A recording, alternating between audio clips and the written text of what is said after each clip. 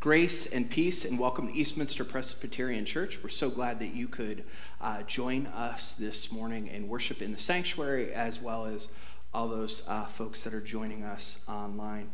Uh, if you could please take a moment to pass the pew pad located along the center aisle, uh, taking note of who's worshiping beside you. Maybe you can send them a little note um, in that pew pad. Uh, a couple announcements of the body. Um, Lots going on. If you're looking at uh, the bulletin, uh, we're still we're doing the um, photo directory. The photos for that are happening next uh, week. And if you haven't signed up to get your picture taken, Beth Ann, am I correct? They can still sign up. I am correct. Okay, um, you can still sign up. So if you didn't do that yet, for some reason, you can still uh, do that. Also, a uh, couple things, other things. Rise Against Hunger, uh, October 30th, great uh, ministry to participate in, uh, filling uh, food bags uh, for those that um, are hungry. Those will be shipped around the world um, and uh, we'll be able to feed folks around the world through that ministry. Thanksgiving food cards, um, and then a couple notes from the vision team. The family vision team is working on the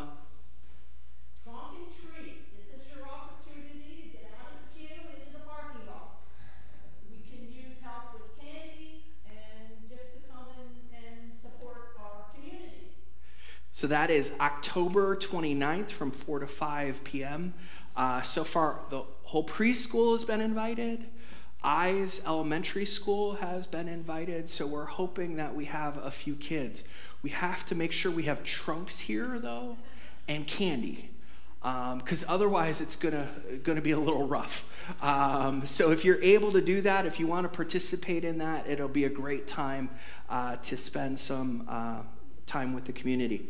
The Dive team, another part of the Vision uh, community, is offering a book study. Uh, the, the book they're studying is White Fragility by Robin DiAngelo. Uh, this will be a six week study starting October uh, 25th.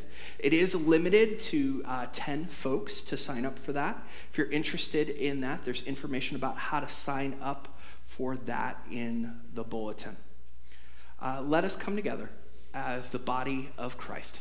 And let us worship God as one.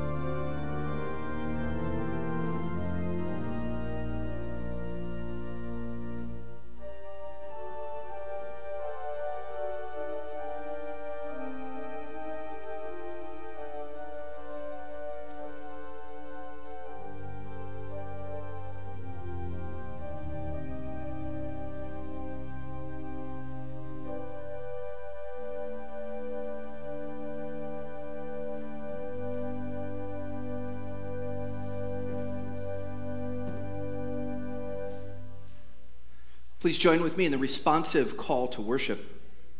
We lift up our eyes to the hills. From where will our help come? Our help comes from the Lord, who made heaven and earth. In praise and thanksgiving, we gather as one body with song and with prayer. The Lord will keep our going out and our coming in from this time and forevermore. Come, let us worship God.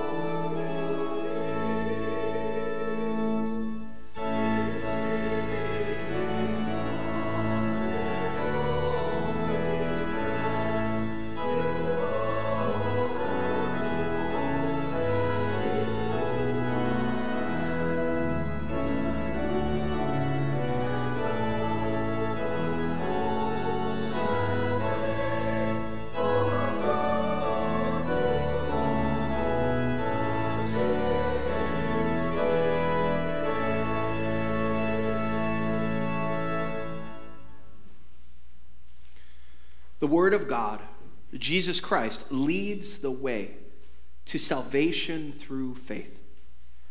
In turning to the Lord with humility and trusting in his love, we confess together our sin and the sin of the world.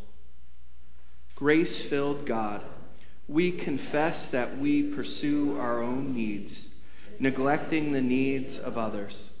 We pursue our own desires while slowly destroying the gifts of your creation. We deflect the call to ministry, ignoring the cries of those in need. We are drawn to proclaim the gospel, yet live it out only at our convenience. Have mercy on us, O God. Open our eyes to the truth of the gospel, that whatever the time or wherever we are, we may fully embody your love and justice for all the world.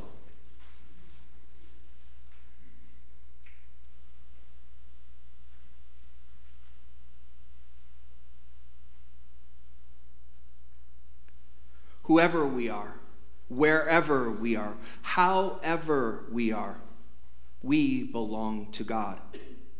Through Jesus Christ, God cleanses us from unrighteousness that leads us from sin. People of God, we are forgiven.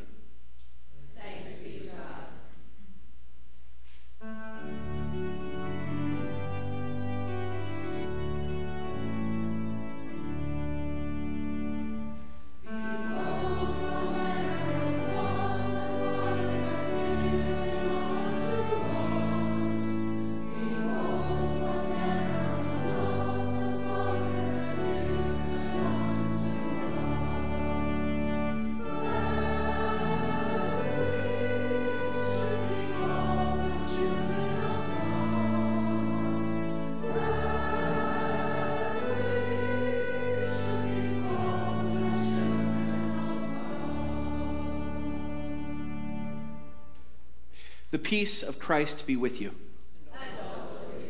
Please turn and share that peace with those around you. Peace, Randy.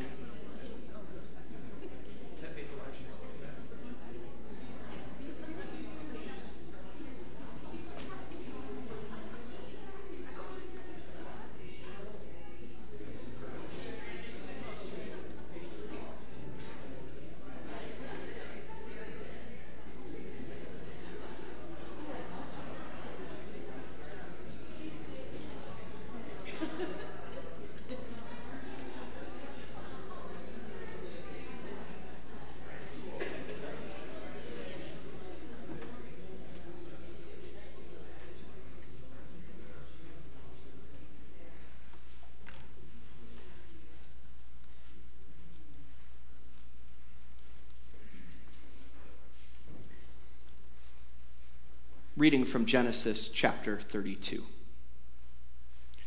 Jacob was left alone, and a man wrestled with him until daybreak.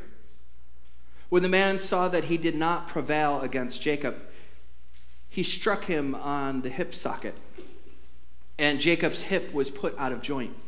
He wrestled with him. Then he said, Let me go, for the day is breaking. But Jacob said, I will not let you go unless you bless me. So he said to him, What is your name? And he said, Jacob. Then the man said, You shall no longer be called Jacob, but Israel. For you have striven with God and with humans, and you have prevailed. Then Jacob asked him, Please tell me your name. But he said, Why is it that you ask my name? And there he blessed him. So Jacob called the place Peniel, saying, For I have seen God face to face, yet my life is preserved. The sun rose upon him as he passed, limping because of his hip.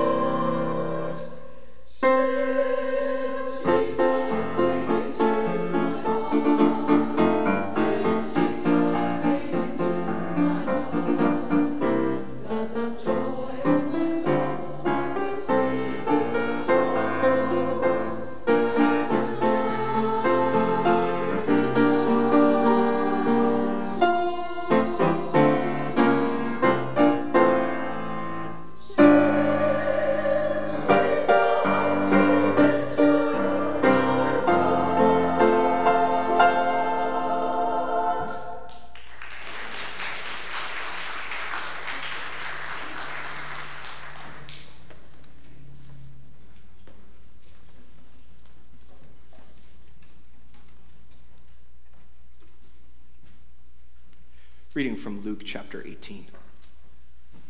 Jesus told the disciples this parable about their need to pray always and not lose heart. Jesus said, In a certain city there was a judge who neither feared God nor had respect for people. In the city there was a widow who kept coming to the judge and saying, Grant me justice against my accuser. For a while, the judge refused. But later on, he said to himself, Though I have no fear of God and no respect for anyone, yet because this widow keeps bothering me, I will grant her justice so that she may not wear me out by continually coming. And the Lord said, Listen to what the unjust judge says. And will not God grant justice to those chosen ones who cry to him day and night? Will he delay long in helping them? I tell you, God will quickly grant justice to them. And yet, when the Son of Man comes, will he find faith on earth? The word of the Lord.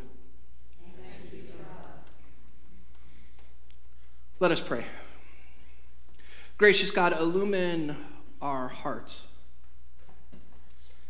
that the words of your Spirit might be spoken through your word, might be sung through songs, and might be proclaimed. That we might hear the message that you have for us as a body of Christ all for the sake of Jesus Christ, the Word made flesh. Amen. I was uh, joking with Randy earlier that it was actually a little bit difficult to start this sermon this morning. You see, the introduction is about public corruption. And it was hard to figure out which story to even highlight. Many of us might have seen the recent story coming out of Mississippi, the public corruption scandal. It starts off like a bad joke. You have a governor, a nonprofit leader, and a franchise quarterback in Brett Favre. And a volleyball stadium gets built with welfare money about $5 million suddenly got reallocated and disappears. Or the recent case that some of you might have read about, about a 17 year old named Pieper Lewis. She's a child in Iowa. She was trafficked and she eventually fought back against her attacker. She killed her attacker. She admits to that readily.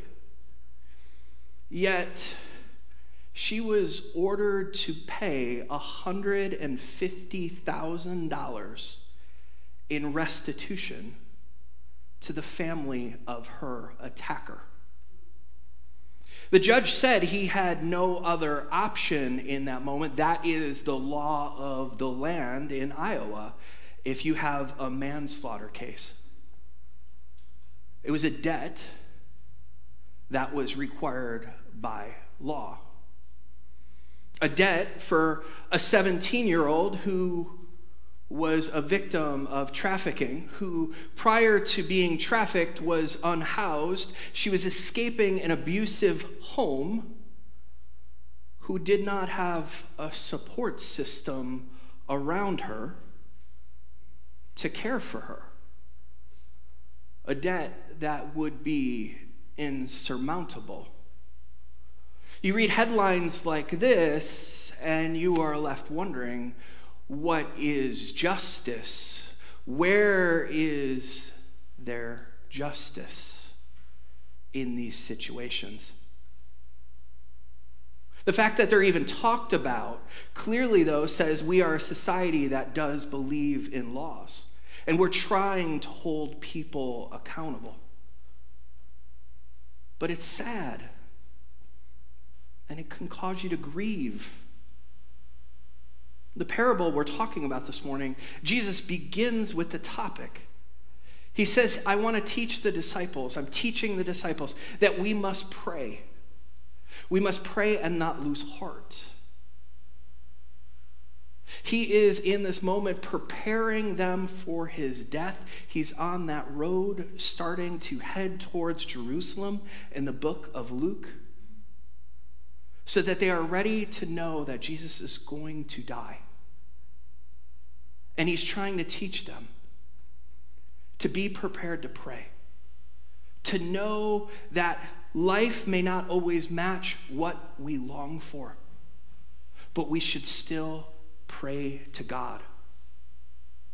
The parable begins with a description of this judge. This is a judge who neither fears God nor respects people. What Jesus in this moment is doing is he is essentially calling this judge a fool. The book of Proverbs tells us the beginning of wisdom is the fear of God. That if we have wisdom, we fear God. And so, what he is saying in this moment is this character does not even fear God. Therefore, he has no wisdom. He is without wisdom. He is a fool. So, this judge is already set up in negative light. The widow keeps approaching him and asking him for, a just, for justice. We don't know the situation that this widow is facing. It could have been a land dispute. It could have been an inheritance dispute. It could have been any number of things. But what we know is she continues to approach this judge asking for justice. This would have been a tribal justice system Jesus is talking about here. He's not talking about some Roman system, he's talking about a local judge that we might read about in the book of Judges. These type of local tribal leaders that would dispense justice for their community. But that's what she is longing for. She wants justice. And what we know about this woman is that the fact that she is a widow means she is already vulnerable. This is a, a society that is extremely patriarchal. A society in which women walked seven steps behind their husbands because they could not walk next to them. And she is suddenly without any form of income. And what we know from the parable and the way Jesus describes this character is she's not only vulnerable, she's doubly vulnerable. Because what we see is we don't see a male heir, somebody else in her family, approaching this judge. So, what we know from this story, this parable, this teaching, is that there are no men left in her family. She is left to literally fend for herself. And so she is approaching this judge, demanding justice, pleading her case. And the teaching of Judaism is very clear. There is an emphasis on care for those in the margins, and there is an emphasis on care for widows. Deuteronomy chapter 24 says, You shall not pervert the justice due to an immigrant, the fatherless, or take a widow's garment in pledge. If you do that, you are cursed. Rendering justice for a widow in Hebrew scriptures is an understanding of fulfilling the covenant, that you are doing what God is asking you to do. So you care for a widow, you are doing what God is asking you to do. And it becomes a symbol of one of the most marginalized people in this society. The psalmist depicts God as a judge who seeks to help widows, a father to the fatherless, a defender of the widows. Is God in God's holy dwelling? But what's so fascinating about the way Jesus sets up this parable is this widow in this story is no shrinking violet. She has agency and she has authority in a society where she shouldn't have had one. She's walking up to this man, demanding justice. She is challenging what she sees as corruption because she's not getting what she needs and wants and deserves in her society. And that's what she's doing. The judge in this case, he's concerned about losing face, about being publicly humiliated by this widow, by this woman. And we hear that in his internal dialogue, repeating again that he has no fear for God and no respect for people. Again, reminding us who is this judge? What is the quality of character that he is living out? And he says, I will grant her justice so she'll stop bothering me. She may wear me out if she keeps coming day after day, and you can picture this routine. Maybe she's stopping him on the street.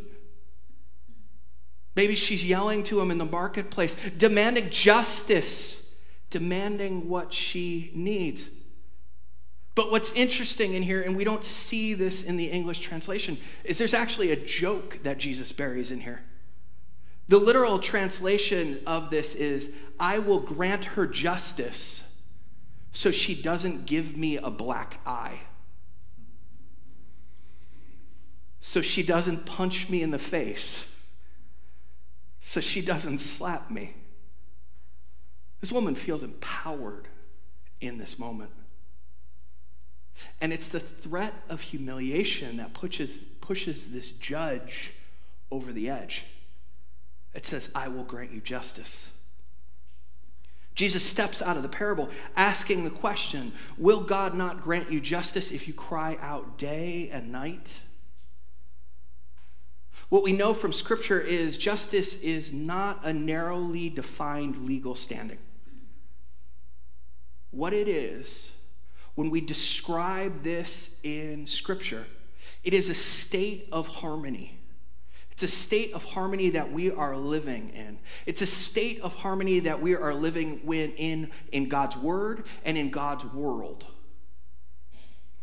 That all people, to experience justice, all people are flourishing.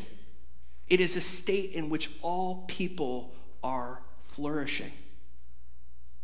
Righteousness, there's a word that you might see pop up often in English translations. Righteousness and justice are actually the same root of the word, they come from the same place. But it's all this idea that we need to be in harmony with God, we need to be in harmony with one another. That people need to be able to flourish. Yeah, Jesus is talking about prayer. So, what is he saying to us here about prayer? Reassuring us that God hears us when we pray, that God is listening to those in need, pointing to the character of God, saying that God will hear them.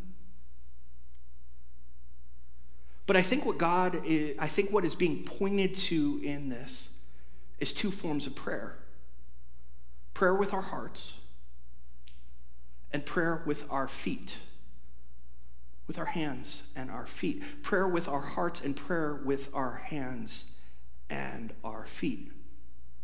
That when we pray, when we spend time with God, when we have relationship with God, it should waken a new reality in our lives. That we should be moved by that. The theologian Dorothea Sölle said that prayer should not should lead not to a new vision of God, but a relationship to the world. One that has borrowed the eyes of God. That when we pray, we should be borrowing the eyes of God, that we should see and view the way the world the way God views the world.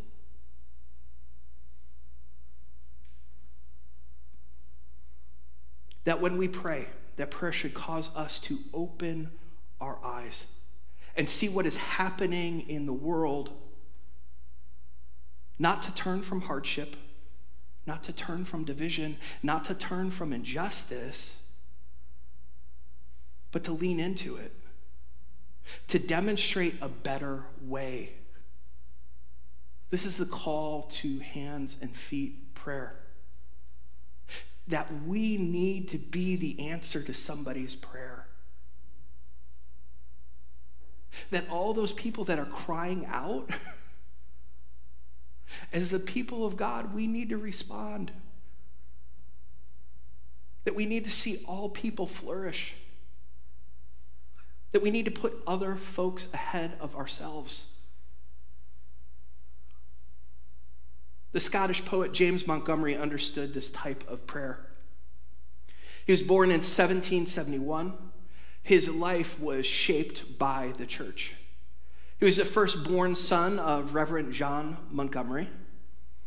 And James, after he grew up, he was really struggling to figure out what to do with his life.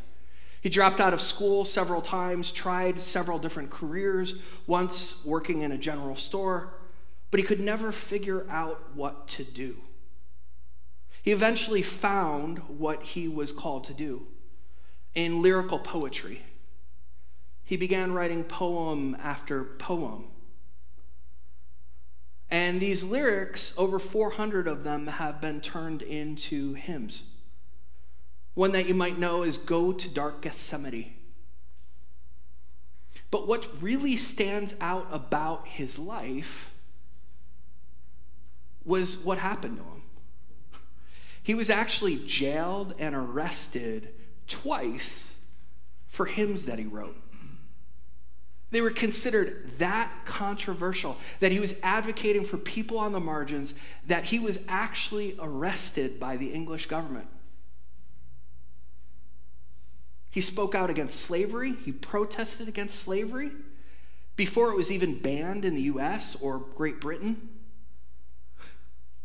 And he understood that form of prayer. That connecting to God in relationships helps us to see the world in a new way. That we should borrow God's eyes. That we should long for justice, for all people to flourish. I'm going to close in prayer with the lyrics from one of his hymns. It's called Lord, teach us to pray aright. Let us go to God in prayer. Lord, teach us how to pray aright. With reverence and with fear, though dust and ashes in thy sight, we may, we must draw near. We perish if we cease from prayer. O grant us power to pray. And when to meet thee we prepare, Lord, meet us by the way. God of all grace, we come to thee with broken, contrite hearts. Give what thine eyes delight to see, truth in the inward parts. Faith is the only sacrifice that can for sin atone, to cast our hopes, to fix our eyes on Christ, on Christ alone patience to watch and wait and weep, though mercy long delay. Courage our fainting souls to keep, and trust thee thou slay. Give these, and then thy will be done.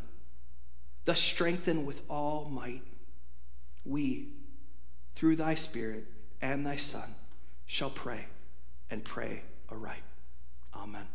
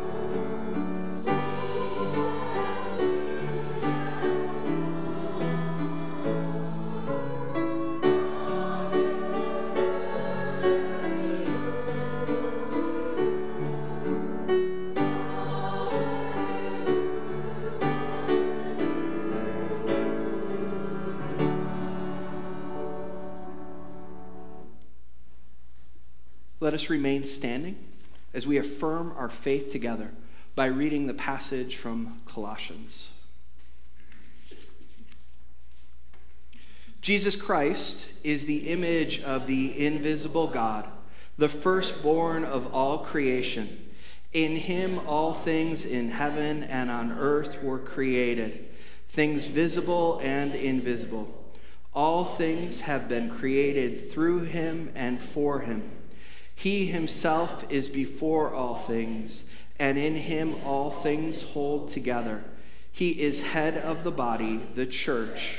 He is the beginning, the firstborn of the dead, so that he might come to have first place in everything. For in him all the faithfulness of God was pleased to dwell, and through him God was pleased to reconcile all things, whether on earth or in heaven, by making peace through the blood of his cross. Amen. Please be seated. with gratitude for God's faithfulness and with thanksgiving for all that we have received. Let us offer our gifts and our lives to God.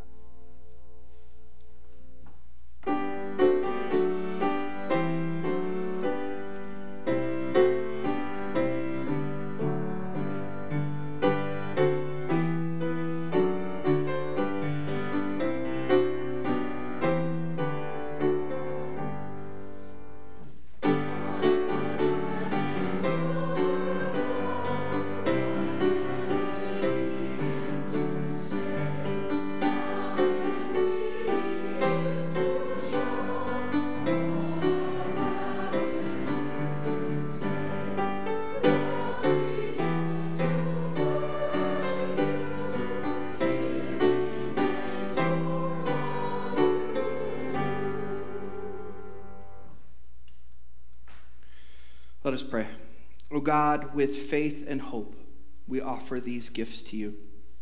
Use them to accomplish your purposes in Jesus Christ, the head of the church and the Lord of our lives. We pray that in the name of Christ. Amen. Please be seated.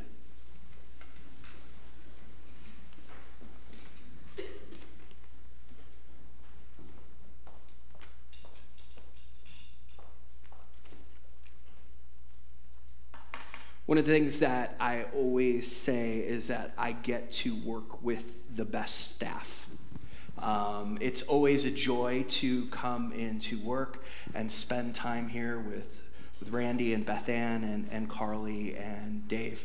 And this morning, I'm excited to share with you. We're getting an update um, from Carly Kearns, our preschool director. She shared uh, with the uh, congregation at the first service a little things that are happening within uh, the preschool. And Amy, the assistant director, was here as well at the earlier service. So if we could have a round of applause for Carly. Carly also confessed to me that her favorite thing is to stand in front of people and uh, speak with a microphone. And so when she told me that, I was more than willing to have her uh, get up here and share a little bit about all the awesome things happening in our church preschool. So I, I do want to start by thanking all of you for your support. Um, having the preschool be a part of our community is so important to us, and, and, it starts here with our church community. So just put together a little brief slideshow. It's not too long, just to tell you a little bit about us and what we've been doing so far this year. So, to start, we have 160 students enrolled. We can take up to 174. So, Some 14 people, of them can join? Yes. Anybody want to redo yes. preschool? it's fun. so um, I think some people were surprised. They didn't realize we were that big. We have 10 classrooms, so there's a, a lot going on. Um, we do open registration in January for next year's school year. So if you know of anyone in your neighborhood with young children, pass that word along that we're opening up in January for new registration. We have a scholarship fund to assist families in need. The money from that scholarship fund comes from um, donations and our fundraisers. So, your own missions committee donates every year to our scholarship fund, and we do 50% of all of our fundraisers um, also. And we also have some parents, I didn't mention that in the first one, but we do have some parents that donate to our, our scholarship fund. We currently have four families that are receiving aid and are able to have their children at preschool just because of that scholarship fund. And over the summer, we used um, the scholarship fund and some other donations from missions to host some students from East York Elementary School to come to summer camp. So we had, how many kids we had? We had five kids come from East York and two siblings of one of some of the kids. So that was really nice, and we're excited to do that again this coming year. So we'll yeah. keep partnering. And that was really a great partnership between uh, the elementary school. Uh, the uh, preschool and the church that we were able to do that together. And I was so grateful uh, for Session getting involved and saying this is a priority for us. Yeah. Uh, early education for children. It's one of the best things we can do for the kids in our community. Oh, I skipped over it. I went too fast. Okay, oh, that's there we okay. go. Oh, you just wanted to skip that one. I wanted to skip this one. No. no, this this um this past week we brought back Pastor Story Time. We had a two year hiatus because of COVID and, and all the changes that were going on, but we brought it back this week, and I thought this was a great picture. I got it shows Josh and Randy, and they look like they're having a lot of fun. Um, we were having a lot of fun. Josh read a story called I Am Human. It was all about empathy and being kind to one another, which is something that we try to teach our kiddos every day. And Randy taught them this little light of mine. So we had five classes in here, and tomorrow we're going to do the other five classes. So that was a lot of fun. Yeah, and I made the mistake of telling all 75 at once that if they told me their name once, I'd remember it. So now so, they expect that. Yeah, so they expect that. I don't know if I'm going to be able to deliver on that one. Um, we, like I said, we do think that being a part of our community is very important, and we have community resources that come to our school to help us teach the, the kiddos. Um, later on in the year, we'll have the sheriff's department come with the canine dogs. We have a dental health center that comes to teach our children about keeping their teeth healthy. Last month, we had the fire department come in. So you can see here they bring their engines, and the children get to see what's on the trucks.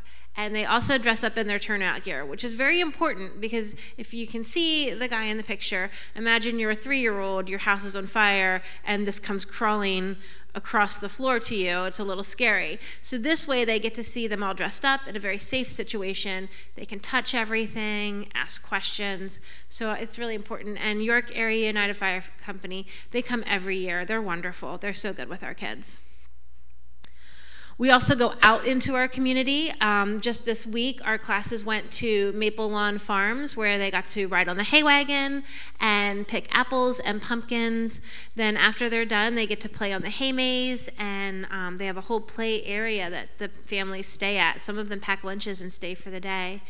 If you haven't ever been there, I suggest going down. That's where the Maze Quest is located. They're wonderful. We've been doing this for a couple of years, and we just love this trip. And then finally, when we're not out and about, which is not that often, we're in our classrooms, and that's where we spend the majority of our time.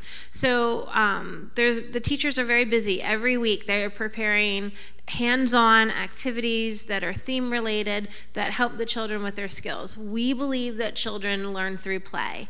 So when they are playing, they are working. You can see in the pictures this little girl is building an apple tree with the blocks the children up in the top they're making apple trees with with whole arm prints not just hand prints. And down at the bottom they set up a donut shop and they were selling donuts. So that was a really popular one. So we have a lot of fun and it's busy and we invite you to come and check us out. And so lastly just thank you for all of your support. It really does mean a lot to us and we couldn't do this without all of you. Thank you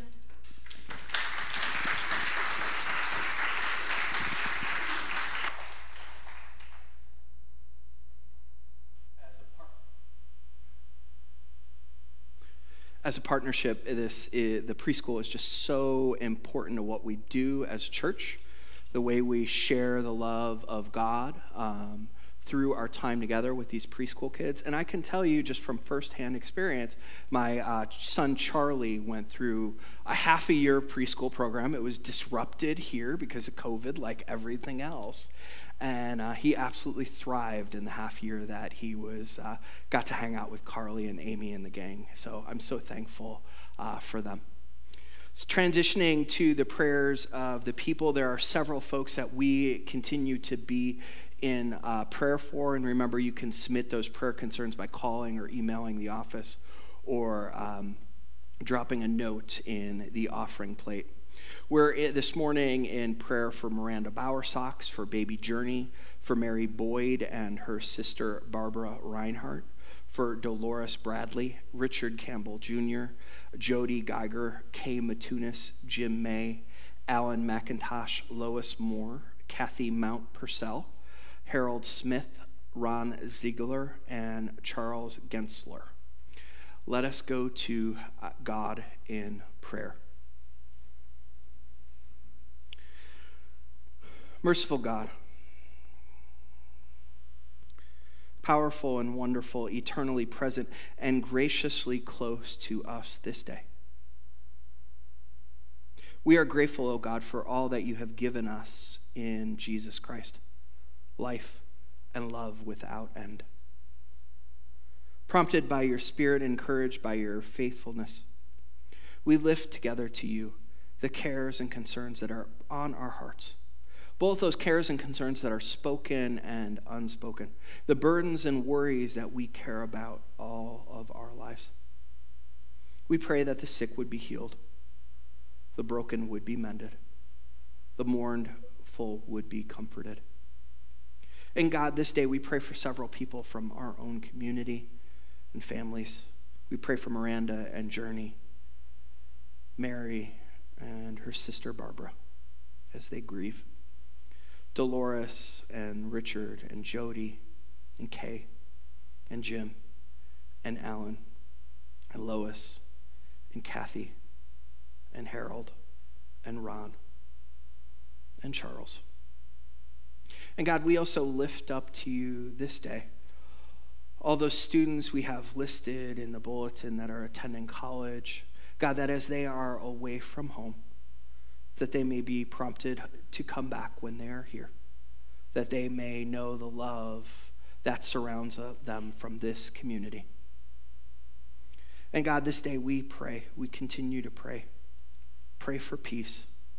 Pray that leaders would gain wisdom.